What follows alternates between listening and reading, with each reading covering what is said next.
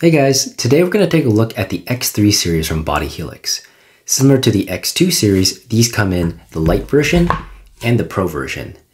Now the only difference between the X2 series and the X3 series is the surface. While the X2 series used a raw carbon fiber surface, the X3 uses a dynamic Kevlar blend of Kevlar and carbon fiber, similar to what Pickleball Apes introduced with the Proline Energy S.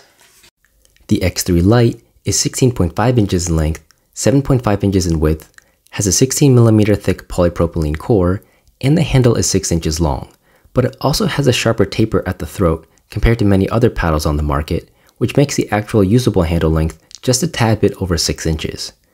The X3 Pro has all the same dimensions as the light version, except for the core, which is 18mm thick, and is similar to what you see on the Diadem Warrior and the ProDrive Drive a triple layer core where one layer of Nomex is sandwiched in between two layers of polypropylene cores, but we'll get into that later and discuss the X3 Lite first.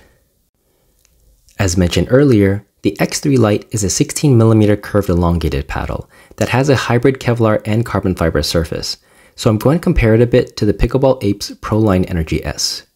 In my review of the Proline Energy S, I said it had a plush feel to it that reminded me of an in-between of a Gen 1 control paddle and a more powerful Thermoform Gen 2 paddle.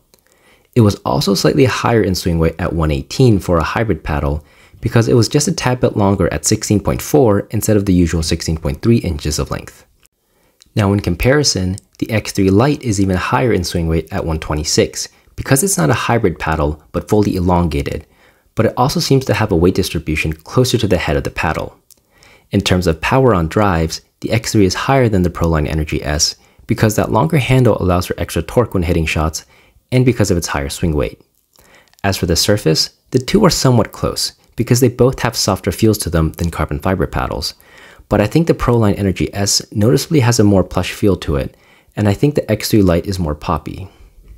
Also, because of the longer handle of the X3 and the sharper throat taper, there's less paddle surface area overall, and I do think that when you hit the two side by side, there's slightly less forgiveness and stability compared to the Apes paddle.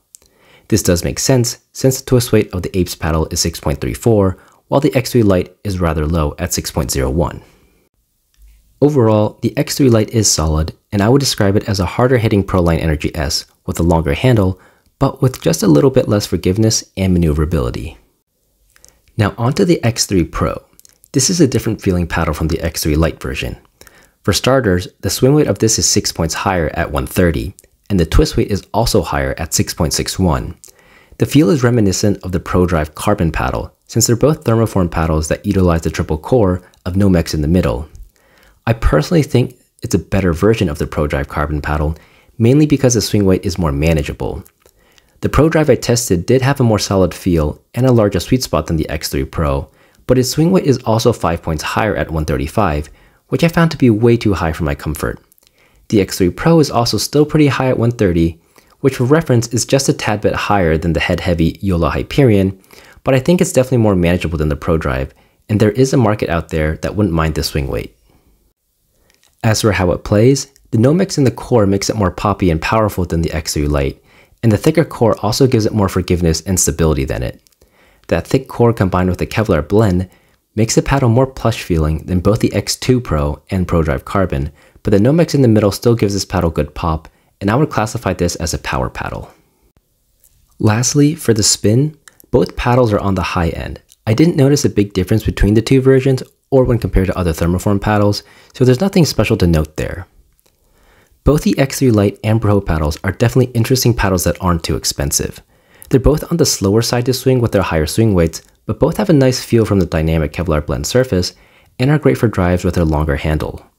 The X3 Lite retails for $160 or $142 after discount code, and I would recommend this paddle more to players as it's more familiar feeling for a thermoform paddle, but it has a, its slight difference from that Kevlar blended surface and longer handle that have it stand out a bit. Meanwhile, the X3 Pro is slightly more expensive at $180 or $162 after discount code, and I think this is the more exciting of the two paddles, but its higher swing weight makes it a bit harder to recommend. However, if you are okay with it, I personally think that this is an upgrade of the ProDrive carbon paddles and worth checking out if you did want a quicker version of them.